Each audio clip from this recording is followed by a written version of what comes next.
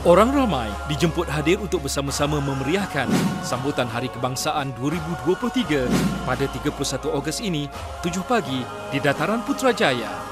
Saksikan pelbagai acara menarik antaranya acara pebarisan dan perarakan, persembahan terbesar 400 pergendangan pelbagai jenis, persembahan aksi tempur oleh wira-wira negara, persembahan udara dan banyak lagi.